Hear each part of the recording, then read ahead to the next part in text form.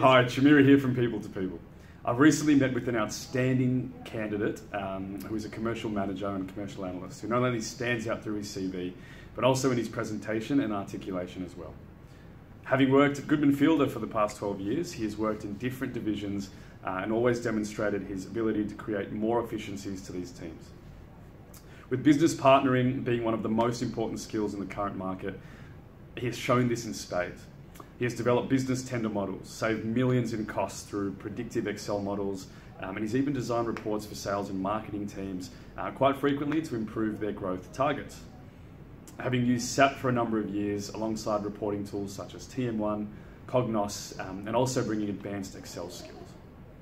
He presents exceptionally with an ability to build rapport and also articulate jargon in clear layman's terms.